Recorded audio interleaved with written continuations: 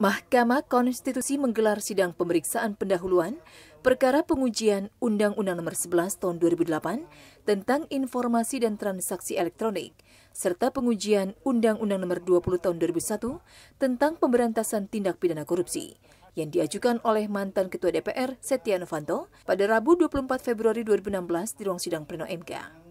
Pada sidang yang dipimpin Ketua MK Arif Hidayat didampingi Hakim Konstitusi Idewo Gede Palguna dan Hakim Konstitusi Manahan MP Sitompul, pemohon melalui kuasa hukumnya Saifullah Hamid mengatakan bahwa perekaman yang dilakukan secara tidak sah atau tanpa izin atau persetujuan orang yang berbicara dalam rekaman atau dilakukan secara diam-diam tanpa diketahui pihak-pihak yang terlibat dalam pembicaraan secara jelas melanggar hak privasi.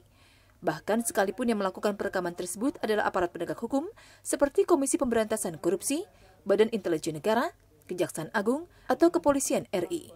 Oleh karena itu, lanjut Saifullah, hasil rekaman yang dilakukan secara tidak sah atau tidak didasarkan atas kekuatan aturan perundang-undangan yang berlaku, secara hukum tidak dapat dijadikan sebagai alat bukti yang sah.